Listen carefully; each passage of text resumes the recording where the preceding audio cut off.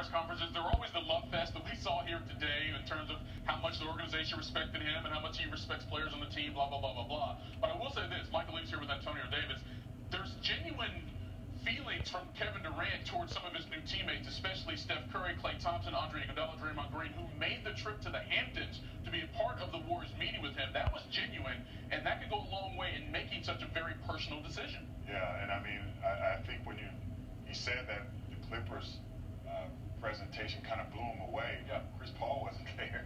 You know, guys weren't there, and I, and I respect that, and I understand it. I'm not saying that it's a negative thing, but you know, when when all those guys walked through the door, I'm sure it meant something to him, and you saw the expression on his face, like wow. It was almost like they were holding hands coming in as a family. You know, uh, I just love that, that, that this this kid has has a great head on his shoulders. You know, I don't care what anybody say and they can say what they want to say about me. I love all the guys. It's hard for me to say something negative about them, but in this case, I do feel like uh, I applaud him. I know it was a very difficult situation.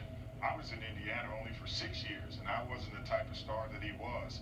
But it's very difficult. You you set your